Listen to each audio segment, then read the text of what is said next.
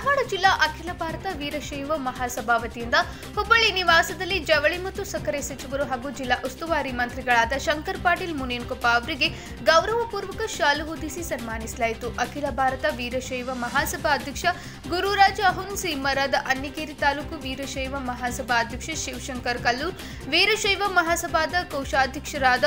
ಎಡಿ ಸೈದಾಪುರ್ ಮಹಾಸಭಾದ ಮುಖಂಡರಾದ Devaraja Dadibai Parashurama Akkariki Prabhavati Vaddin Shanta Begur Sandhya Ambadagatti Shivananda Kavali BY police Patil Ravi Badni MF Hiremath NS Biradar Rajendra Kampli Rajashekhar Uppin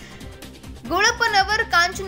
Anigeri taluk Veerashaiva ಮಹಾಸಭಾದ ಯುವ ಘಟಕದ ಅಧ್ಯಕ್ಷ ಮಂಜು ಹಡ್ಪದ, ಅಖಿಲ ಭಾರತ ವೀರಶೈವ ಮಹಾಸಭಾದ ತಾಲೂಕು ಉಪಾಧ್ಯಕ್ಷ ಮುತ್ತು ಸೂಡಿ ಹಾಗೂ ಗುಜ್ಮಾಗಡಿ ಇನ್ನಿತರರು ಅಖಿಲ ಭಾರತ ಮಹಾಸಭಾ ಮುಖಂಡರು ಉಪಸ್ಥಿತರಿದ್ದರು. ಇರಪ್ಪ, ಗುರಿಕರ್, ಎಸ್ ಟಿವಿ ಹುಬ್ಬಳ್ಳಿ.